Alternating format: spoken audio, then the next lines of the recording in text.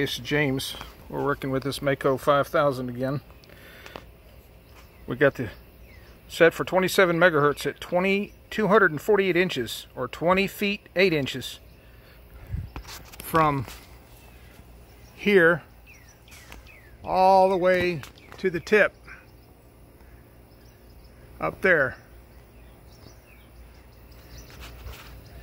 And that's what we're reading. Resistance 15 ohms. 9.1. We come down. We come down to 27 megahertz. 9.8 SWR. Why is this?